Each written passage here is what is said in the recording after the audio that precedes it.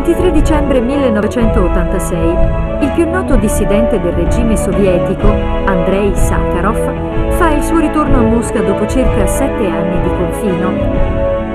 Sakharov, che non aveva potuto ritirare il premio Nobel per la pace che gli era stato attribuito nel 1975 era stato confinato a Gorky dalle autorità sovietiche nel gennaio 1980 per le proteste contro l'invasione sovietica dell'Afghanistan.